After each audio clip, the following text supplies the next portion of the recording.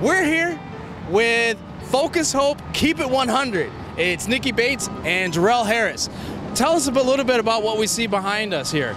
So what you're seeing right now is what is left after three houses have been demolished. Um, these houses were probably some of the worst in the neighborhood. They were the site of a lot of criminal activity in the past, and so we were really adamant about making sure these houses got demoed so that we could repurpose and reuse this land for something more positive in this neighborhood. Um, so this is the site of what will become rain gardens and community gardens and a really beautiful playscape.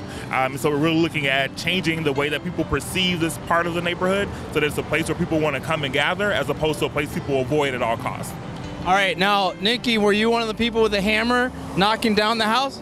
I was not. That's done by the, the contractors hired by the city of Detroit. But Focus Hope does a lot of pushing to bring those contractors to this neighborhood.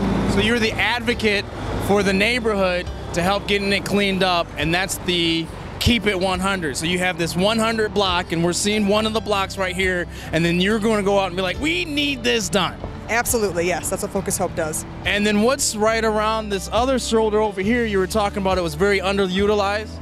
Yeah, so right across the street there is a park that is maintained by the city of Detroit. It's a really beautiful park, a great play space, but people don't use it because of what used to be here on this block. They were afraid to come out and bring their children out to play at the park because the houses across from it were blighted and needed to be demolished. So hopefully we'll be able to encourage people to come back out to use the park, to use the new rain garden that'll be here, to use the new playscape and really reclaim ownership of this neighborhood. Feels great. That's one of the best parts about working in the city of Detroit and working at Focus Hope is that you get to see real change happening. There's real, you know, Focus Hope is pushing for these things to happen and they're getting done. It's really an amazing feeling. What can the participants expect to see when they arrive? When they get here, they'll see that um, there's been a lot of groundwork that's already been done. Um, so we've done a lot of demolitions, we've done some board ups, we've done some beautification. Um, so they can expect to see that we're ready for them to come. Uh, we're looking for strong arms, strong hands, strong bodies to really help to push us to that next level of transformation in this neighborhood.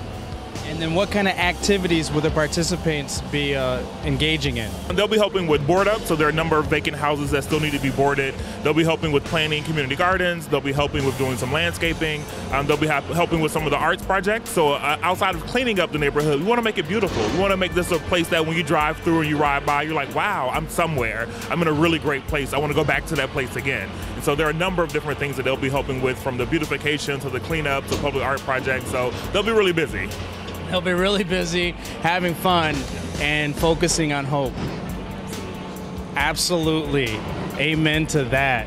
We're going to see you in July. We're so excited to have you here. Very excited. Thank you very much for coming to Detroit and for believing in what we do. Yes, thank you very much. Looking forward to seeing you in July.